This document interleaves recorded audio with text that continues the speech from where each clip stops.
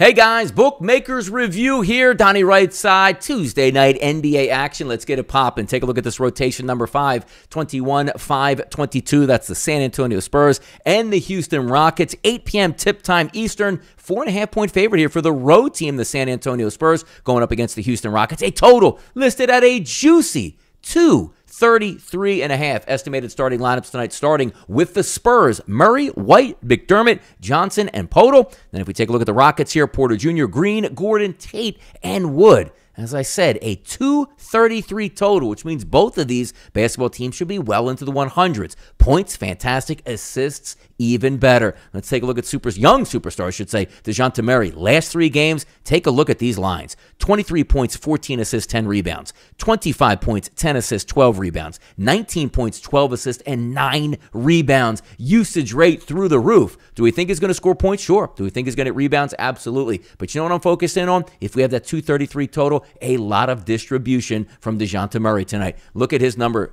over nine and a half assists, priced at a plus 100. I'm going to go ahead that make go ahead and make that a wager tonight. Dejounte Murray over nine and a half assists at a plus 100 number. Guys, as always, if your book doesn't offer many props, go to the BMR ratings guide and pick one of our A plus sites that you can go on and easily navigate around. I'm ready to make a wager tonight on Murray's over nine and a half assists plus 100. Are you able to do that? Certainly do it. We got you covered here at Bookmakers Review. If you like all the videos that we provide, check out Bookmakers Review. I'm ready to get down on DeJounte Murray. I'm ready for him to get 10 or more assists tonight. Let's cash this ticket in. For BMR, I'm Donnie RightSide, and as always, good luck on those wagers.